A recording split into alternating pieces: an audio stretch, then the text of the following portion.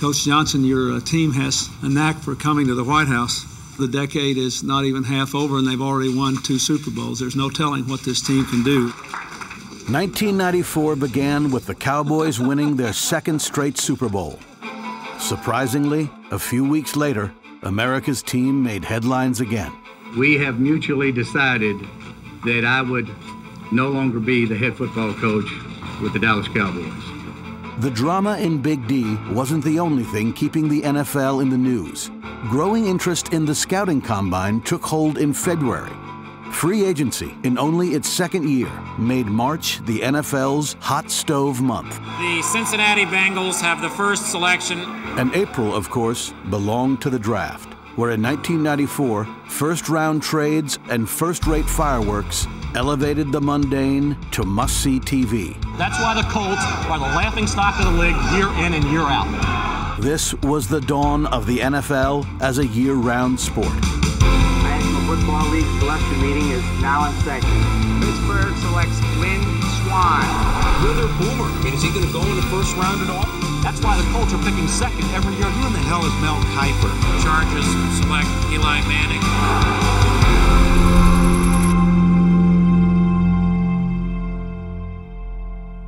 Welcome back, my friends, to the show that never ends. Back to the, the 1994 draft was a benchmark for the NFL's modern era.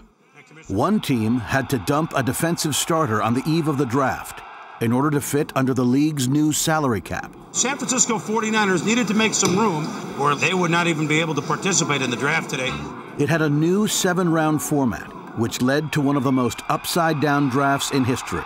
Several late fines would help four different teams reach the Super Bowl.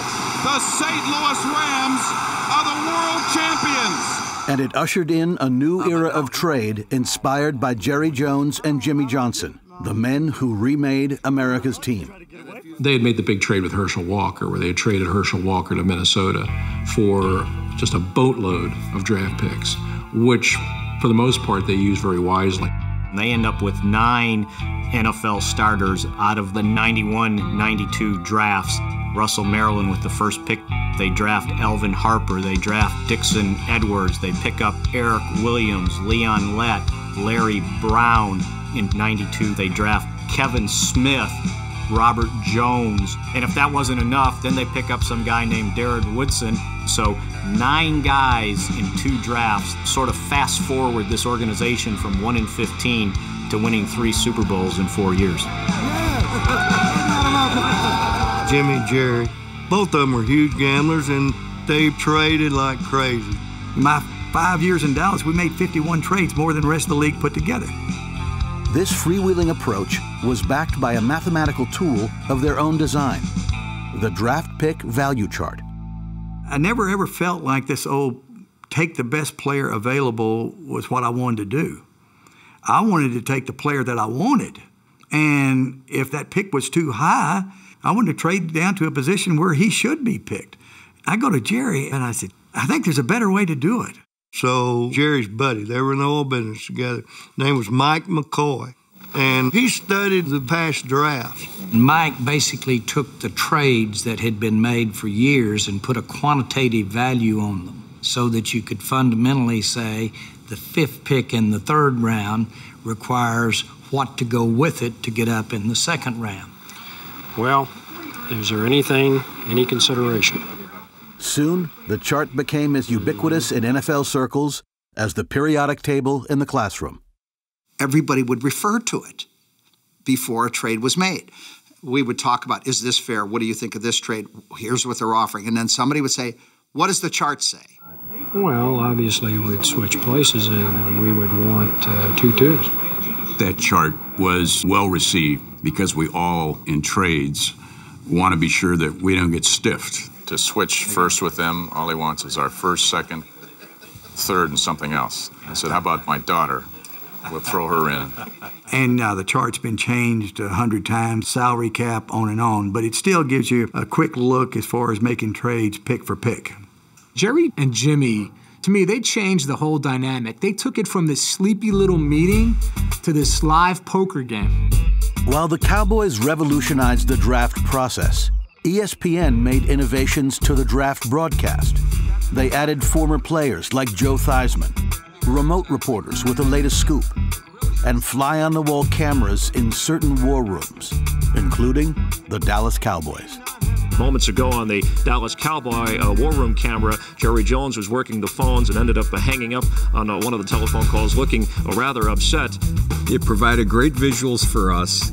It did, for the first time, kind of take the viewer inside you know, one of the clubs. I mean, I think that's kind of the secret of television take people where they normally can't go. And I remember Jerry Jones just being a guy unlike any owner I had ever seen, like just out front all the time and not shy.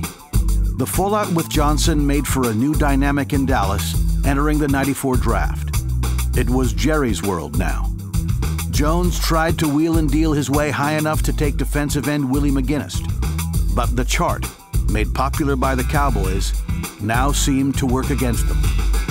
Yeah, we tried like uh, everything in the world to get up to get Willie, and we couldn't come up with enough draft choices or point spread, and Jerry was sick about it. And the Cowboy reaction in the war room was uh, less than popular when New England made the choice of the player that they were trying to trade up to get. No word on if they'll move up for another defensive player. You know that you have an opportunity to trade up and down in the draft, and we were going to trade Alvin Harper for one guy, and that was Willie McGinest, and no one else.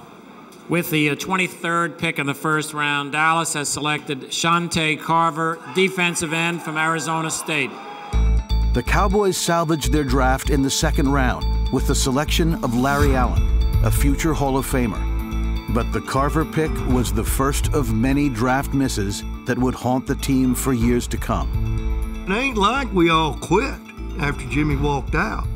You know, everybody in this league would give anything in the world to be in the championship game and in the Super Bowl the next year, and we were.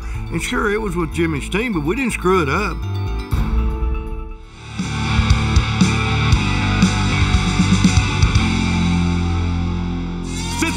15 years of the NFL draft here on ESPN. Boy, time flies when you're having fun.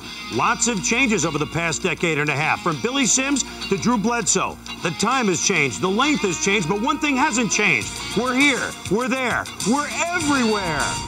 By 1994, the NFL draft had made it big. Now held in Times Square, ESPN's telecast was a television spectacle. It was a pretty big event. It was huge, and uh, it really started to grow. And the, the, numbers, the ratings, all the preview shows and the like, the coverage that it had on Sports Center, uh, everything was uh, was elevated. The NFL offseason had grown in popularity as well. Draftniks now took an interest in the data coming out of the scouting combine in February. The popularity of it kind of caught me off guard because you know we'd go there and we'd sit for hours and hours and hours and hours. Sometimes it felt like you're watching you know paint peeling, but uh, apparently people love it. The poster child for this modern obsession with combine data was Dan Big Daddy Wilkinson, the consensus number one overall pick. We think we know who the first pick is. Young man named Dan Wilkinson, defensive tackle extraordinaire from Ohio State. I saw this mammoth person sprinting effortlessly up and down the field, leading the pack, and naturally said, Who is this guy? He looked like a man among boys. A big six foot four and a quarter, 313 pounder, ran that 472, 32 reps at 225, awesome weight room strength. He set some uh, combine numbers that were ridiculous. It was almost like Superman. And for whatever reason, people decided that Dan Wilkinson is going to be the next Reggie White. He's about as high a rated defensive lineman as you've seen, is that correct? I really think, Chris, he's one of the top three defensive linemen in the last decade, up there with Reggie White and Cortez Kennedy. And the point is, there isn't going to be another Reggie White. There are big bucks ahead for Ohio State sophomore Dan Big Daddy Wilkinson.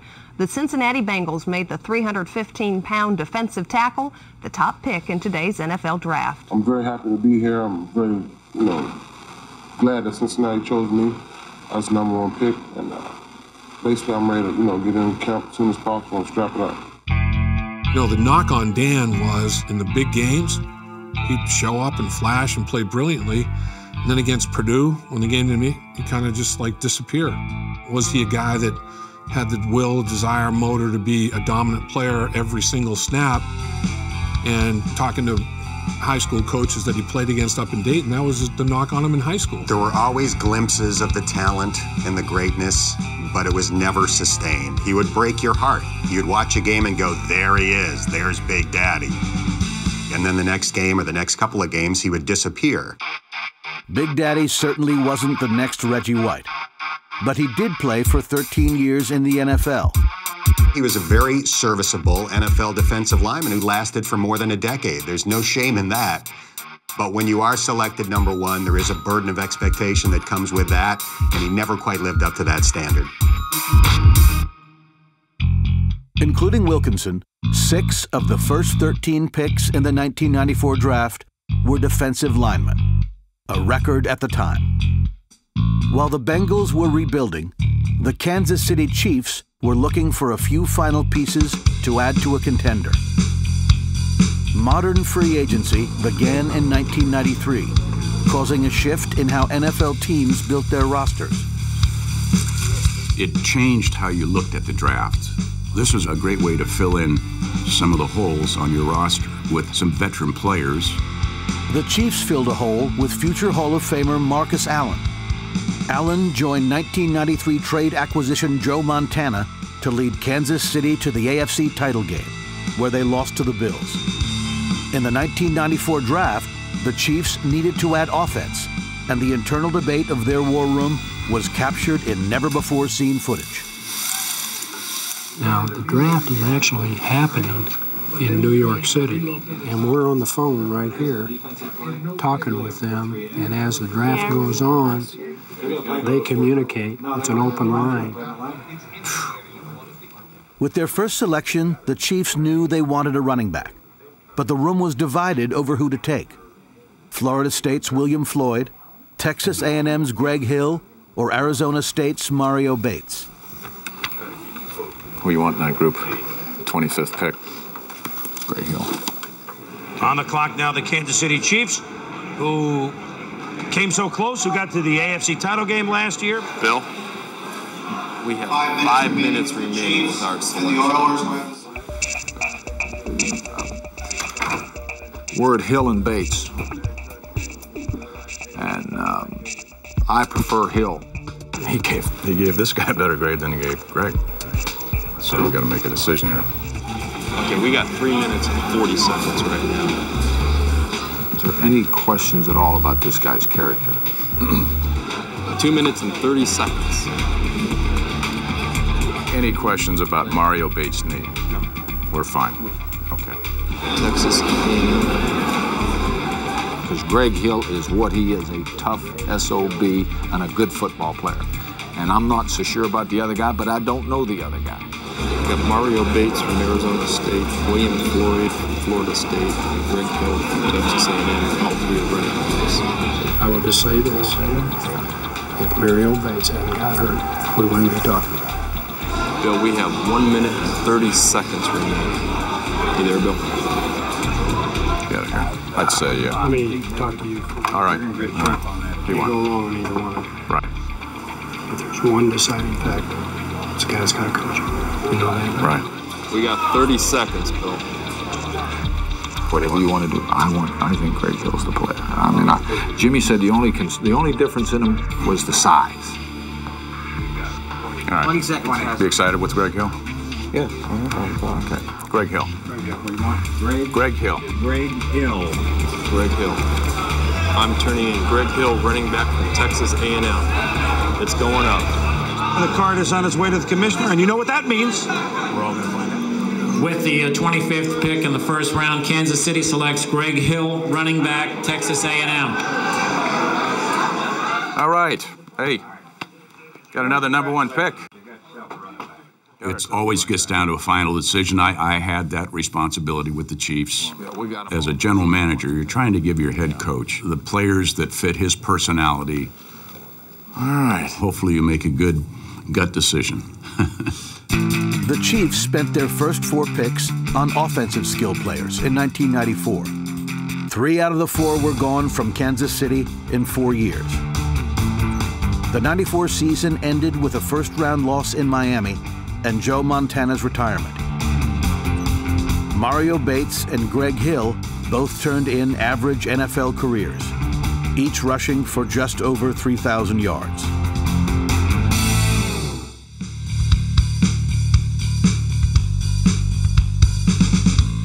It's the 59th annual selection meeting, as they call it in the NFL. And as the rules change and the brave new world of the salary cap and teams and free agency, perhaps more than ever before, a premium on the seven rounds of the NFL draft. I mean, so many things were going on in 94 that really hadn't been seen before. You had underclassmen being drafted in fairly significant numbers.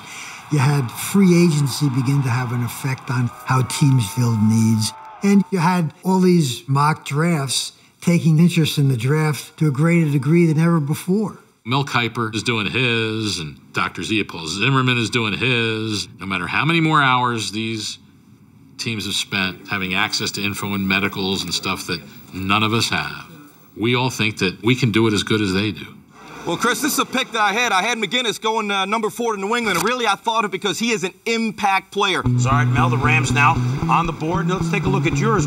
Where should they be looking for value? Well, that position. Mel Kiper has built a career for himself as the outsider with inside knowledge, the first great armchair GM. He has published his own draft guide every spring since 1981, complete with write ups on each pro prospect. I'm always interested to read his book, as long as he sends it free. By 1994, Kiper and his big board were fixtures of the broadcast. There was little debate as to who would go number one, but intrigue surrounded the landing spots for Heath Shuler and Trent Dilfer, the top two quarterback prospects. The Indianapolis Colts are now on the clock. Now they have two very high first round picks the number two pick right now, and the number seven pick overall. With the um, second pick in the first round, the Indianapolis Colts select Marshall Faulk, running back, San Diego State. He's a great back, but I strongly disagree with this pick. And it's not any criticism of Marshall Faulk. The Colts have to come out of this draft with a quarterback, and if they don't, they're ripe for some criticism. Kiper, he had been building up two weeks prior to the draft about having to take a quarterback. And I was the opinion that uh, I was running the Colts and not uh, anybody on a network. Bill Tobin took the future Hall of Famer. He had acquired the Colts' other top 10 pick by trading Jeff George to the Falcons, leaving free agent signee Jim Harbaugh as the only quarterback on the roster. The same Harbaugh that Tobin drafted eight years earlier as GM of the Chicago Bears. Walter Payton and Jim Harbaugh, the two most competitive players I've ever been around in my life. And he was going to be my quarterback. I wasn't interested in Trent Dilfer and Heath Shuler. We didn't have either one of them in our top 10 players. With the uh, third pick of the first round, the Washington Redskins select Heath Shuler, quarterback, Tennessee. New England Patriots select Willie McGinest, linebacker, USC. Trent Dilfer is falling. Can you believe that? I don't know what he's saying. Was Santa Claus waiting on him ever this exciting? I don't know, man. This is amazing, huh? I get a big kick out of every year. I have that ugly green suit on and a big flock of seagulls hairdo. So that's uh, that's why I like it being reruns. People actually believe I had hair at one point. So you are surprised? Oh, very surprised. Yeah, I, we thought for sure it would be either Indianapolis, Washington, or LA. Uh, the next logical choice was the Indianapolis Colts. The Colts traded up with the Rams, moving from number seven to number five. Everyone thought they were moving up to take Dilfer. What followed became the signature moment of the 1994 draft. The Rams have made a trade with uh, Indianapolis, and Indianapolis has selected uh, Trev Alberts, linebacker from Nebraska. Wow. That's simple.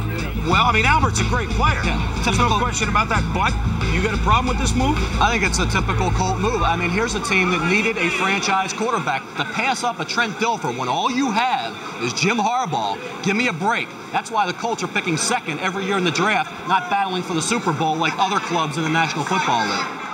It was, whoa, Mel, where are you going, Bass? You know, mild mannered Mel, all of a sudden, boom, here he comes. That's why the Colts are picking second every year in the draft. You know, Mel was never shy in his opinion, and he wasn't shy in his opinion in this case. Well, you think about Jim Harbaugh was a solid quarterback. not a great one. And you felt like, okay, can these quarterbacks improve your position? And I thought Trent Dilfer could.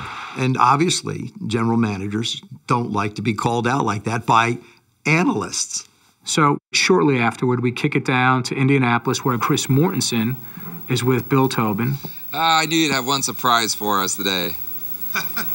not, not a surprise to us. No, that's great. I mean, no, that's what I mean. I'm not. I'm not. Hey, one question, Bill. A lot of criticism about not taking a quarterback here. Your response? Well, you know, we got a guy up there. Who in the hell is Mel Kiper, in a way? I mean, here's a guy that criticizes everybody, whoever they take. He's got the answers to uh, who you should take and who you shouldn't take. In my knowledge of him, he's never ever put on a jockstrap. He's never been a coach. He's never been a scout. He's never been an administrator. And all of a sudden, he's an expert. He's in our papers two days ago telling us who we have to take. We don't have to take anybody that Mel Kiper says we have to take. Mel Kiper has no more credentials to do what he's doing than my neighbor, and my neighbor's a postman, and he doesn't even have season tickets to the NFL.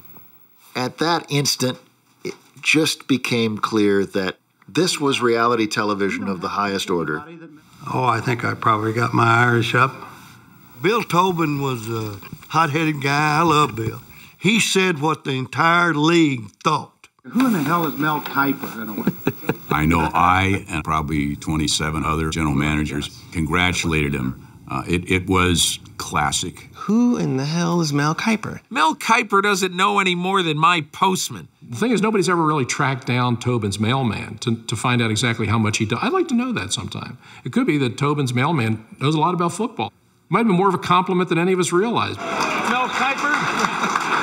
Mel Kiper? Well, Tobin obviously not going out to dinner tonight. Well, Chris, I'll tell you, I'm secure in my position. Obviously, Bill Tobin is not very secure in his position to have a response like that. I didn't take exception to the comments.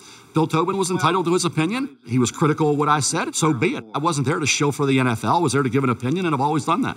To me, it's a mistake. You cannot go with Jim Harbaugh and pass up Trent Dilfer. Forget it. That's why the Colts are the laughing stock of the league year in and year out. April 24th, 1994, a day that will live in infamy. Kiper, Tobin, and Tobin's postman became the talk of the draft.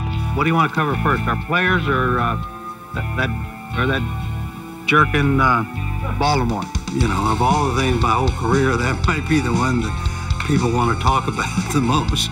It was obviously an entertaining, very entertaining for the fans, and uh, it's still being talked about today. Mel, you know, is probably the single biggest person in terms of why the draft has been popular on E ESPN. So we didn't have any problem with it. You know, controversy is good on television. And we will win regardless of what Mel Kiper says. In the aftermath, Jim Harbaugh led the Colts to the AFC Championship game in 1995. Marshall Faulk is in the Hall of Fame. Trev Alberts was out of the league in just three years. Bill Tobin was fired in 1997 after the Colts went 3 and 13. Well, first of all, it's been a great experience for me. Not just me, but everybody who came. We had fun. Um, it's first class. It, they really treat you nice up here. 1994 was the second year the NFL showcased multiple players live at the draft. Our next guest is a three time All American running back, a public administration major from New Orleans, Louisiana. Please welcome Marshall Faulk. I always tell people about that moment, and, and I love going back to the draft because it takes me back and it brings me back to that moment. Fresno State quarterback Trent Dilfer's moment involves some behind the scenes drama. My situation got a little tipsy turvy there. We really thought through the whole process we were going to the Redskins. The Washington Redskins select Heath Shuler, quarterback, Tennessee. So you are surprised? Oh, very surprised. But hey, I mean, shows how much we know and how, how much everybody else knows. I spent a ton of time with the Redskins. Obviously, must not have done very well on the tests. The Redskins' change of heart came not with a test, but with the hire of head coach Norv Turner.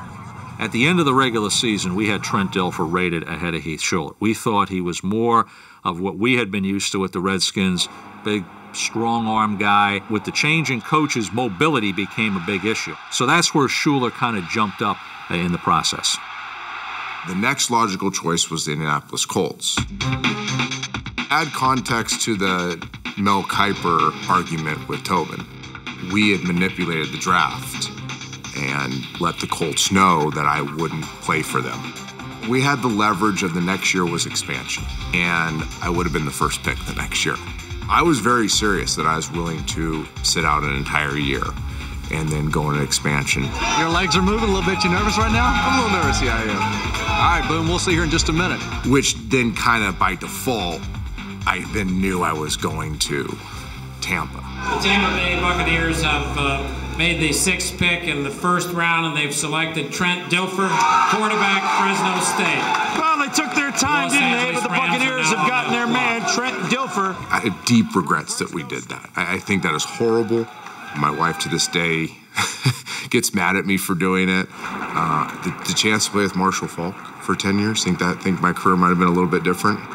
But it's how things go. You don't seem very excited, Andy. Oh, I'm very I, surprised, but I, I'm I'm fired up. I really am fired up. I mean, this is a perfect I'm situation. glad you didn't go to a couple teams. It does not matter when you're drafted; it's who you're drafted by.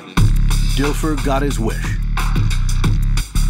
After six underwhelming years as a Buccaneer, he signed with the Ravens in 2000, where, aided by one of the NFL's all time great defenses, he won a Super Bowl in Tampa Bay's Raymond James Stadium. And what a pass. Dilfer threw right down the middle. You have to throw one here in Tampa Bay ever like that. That pass was gorgeous. Three picks before Dilfer, Washington selected Heath Shuler, the quarterback many thought was a can't miss prospect. Chris, I think Norv Turner's got his Troy Aikman, and it's going to be Heath Shuler. Personally, I thought Heath Shuler had first round ability, but wasn't a top pick. But what happens is you can talk yourself into we have to get a quarterback. If we don't take one here, we won't get one.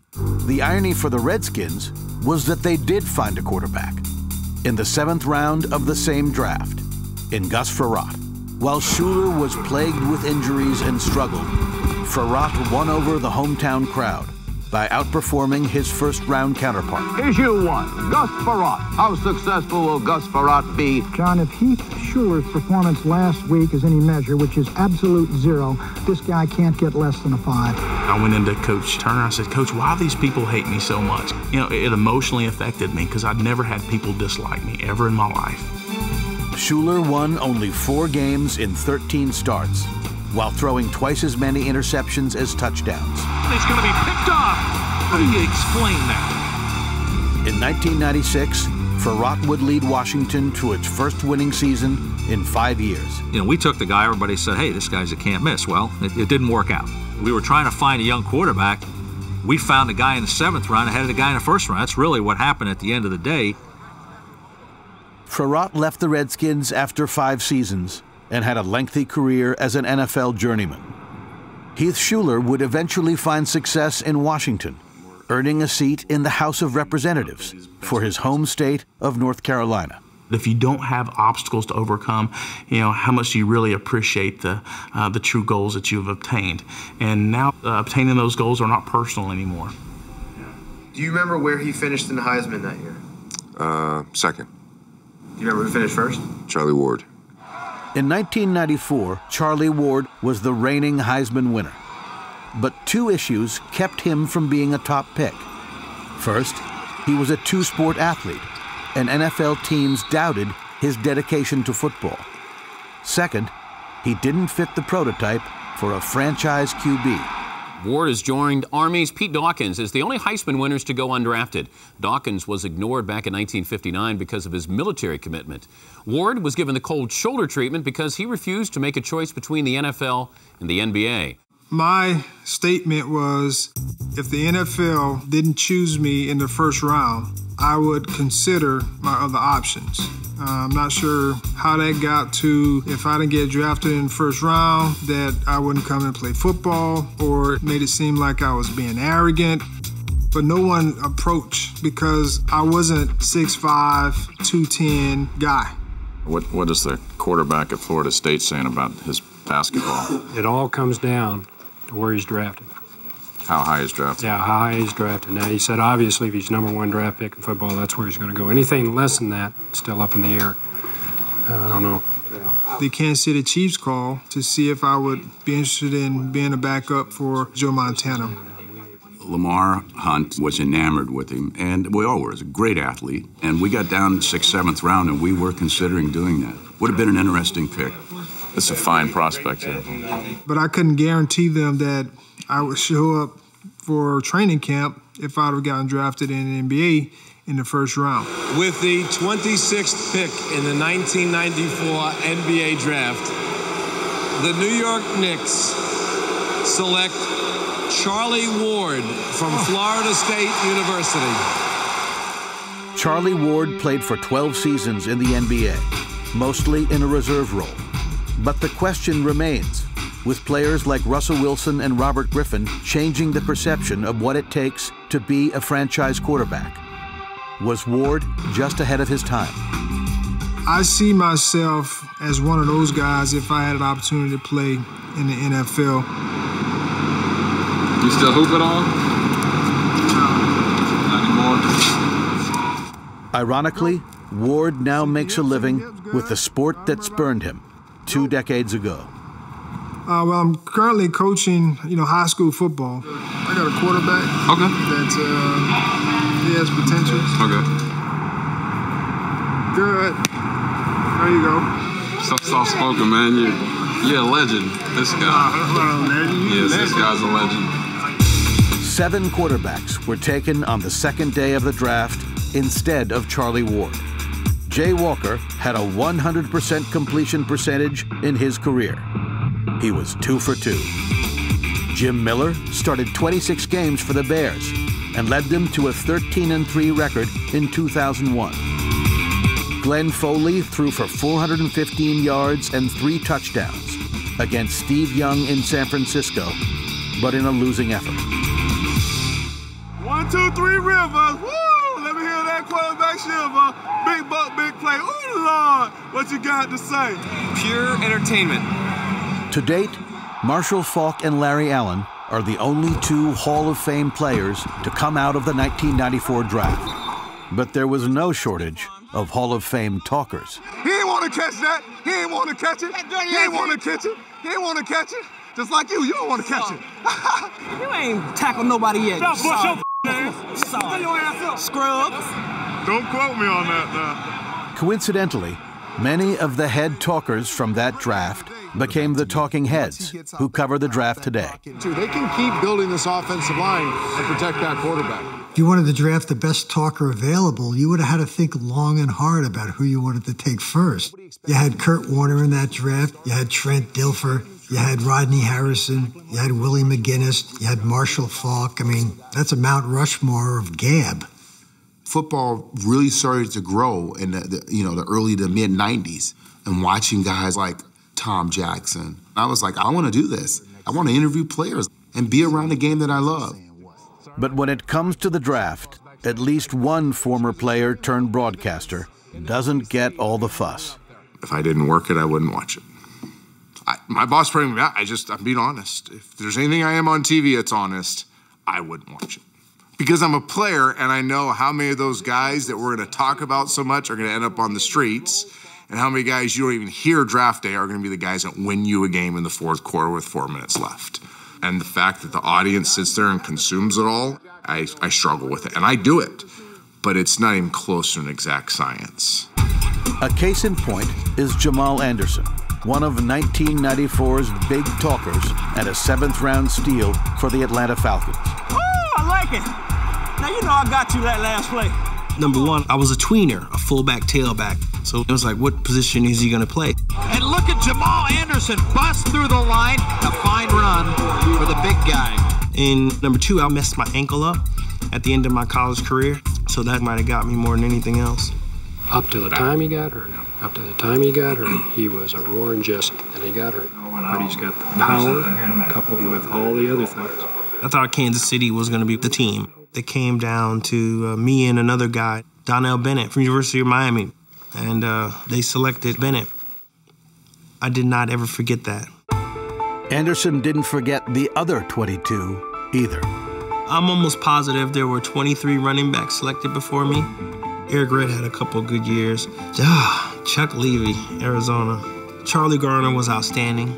Mario Bates, nice guy, but that didn't work out. Donnell Bennett, Jeff Cothran, Tony Vincent. Wow. He ended up coming to Atlanta, and he was one of my backups. In the end of the day, I think there's only one guy on here who put up better numbers than me. Actually, two. But who's counting? While most of the others faded into obscurity, Anderson created the Dirty Bird and soared into the Super Bowl.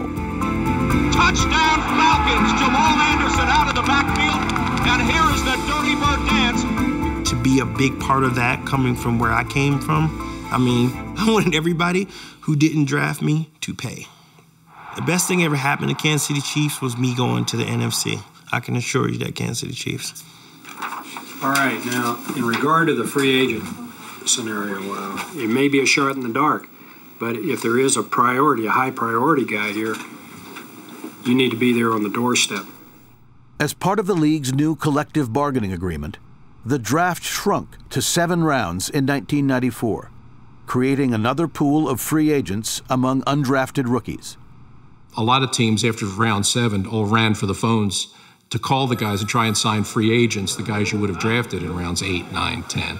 Let them know that, you know, if you're not drafted, we're really interested in you. If we can't squeeze you on board, we're going to come knocking on your door. But what we're trying to do is create a situation where we're saying, our guy's there, we've got the contract, this is the deal, sign it, and let's go.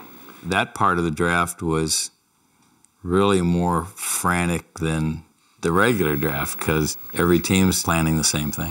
So in other words, we're gonna we're gonna have to eliminate the guys that we think are going to get drafted and have the best chance of being someplace where where there will be a legitimate free agent. So what I have to do is look, follow the draft if I can.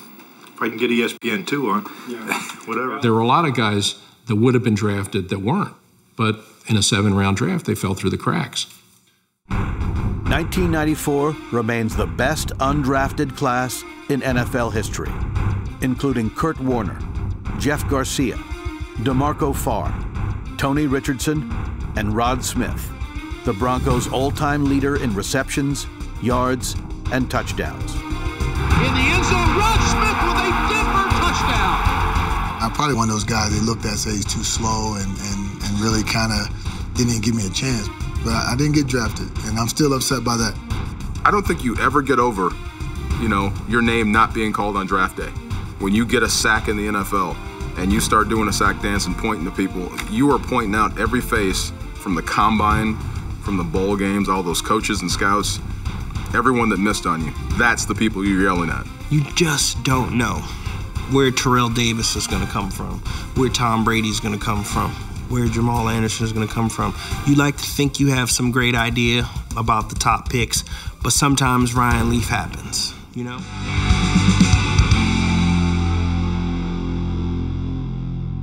The uh, seventh pick in the draft was uh, traded by the Rams to San Francisco. No draft pick in NFL history has been traded more than the seventh pick in the 94 draft. Number seven started with the Falcons, who traded it to the Colts for quarterback Jeff George.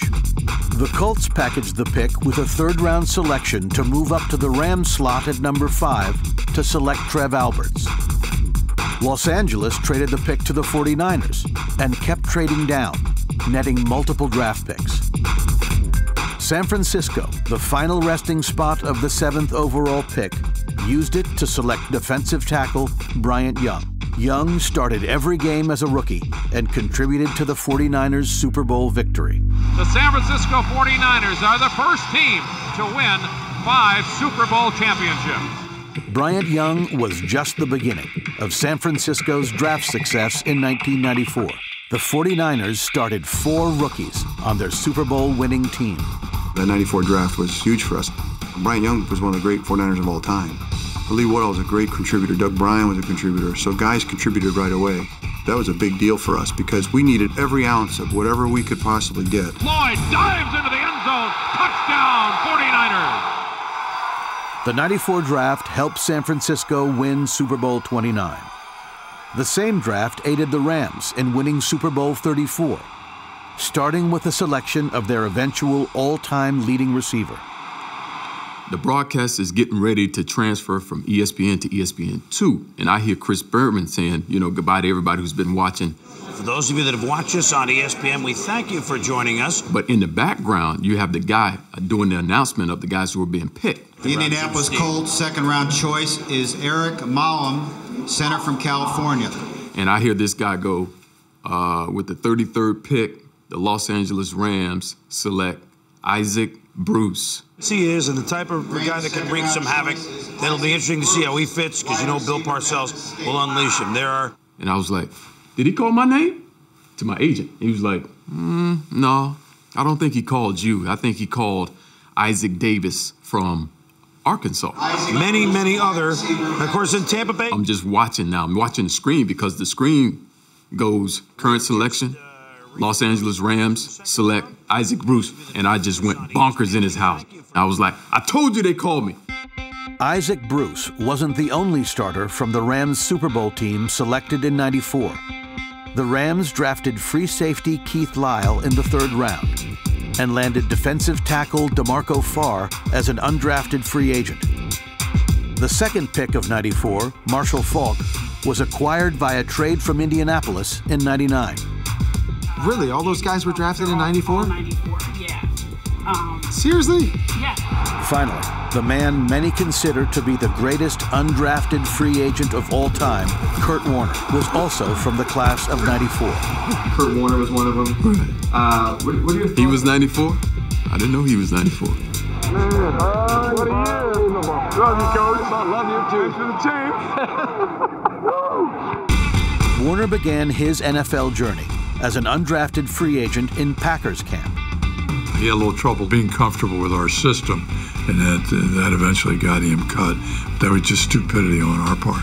The future two time NFL MVP earned his shot in the NFL through a stint in the Arena League and a tour in NFL Europe. Now, Kurt did get a lot better once he went to the Arena League and once he got some World League experience. And I think getting cut from Green Bay lit a fire in him. But he did some good stuff in college too. And somebody should have been able to see the traits that he had that you could develop this. Quarterback doesn't look bad, Jimmy. What? He doesn't look too bad. Quarterback? No, he looks pretty. good. If there is one thing that Warner's story proved, it is that the NFL draft can be a crapshoot. Well, it tells me some guys just copy off other guys' reports. I mean, some of the scouts. When you miss a guy like D'Marco, when you miss a guy like Kurt Warner, I mean, someone should lose their job. Crapshoot or not, the draft of 94 was just the beginning of the NFL's rise to a year round sport. It was becoming a bigger event nationally. It wasn't just about E ESPN putting on the two days of the draft. Talk radio was talking about it incessantly. The newspapers were covering it like a major event. The magazines were covering it like a major event. You were hearing trade rumors. The Cowboys, they hoped they would have a deal with the Rams, trading Alvin Harper and Dallas, moving into that five spot. When that stuff starts to foment and build up, you know that you are riding a pretty good wave, and that wave has not crested. I mean, it has just gone higher and higher and higher. Here at the NFL Draft at the Marriott Marquis. There is very little downtime for NFL fans the way this thing has played out. Welcome back, my friends, to the show that never ends.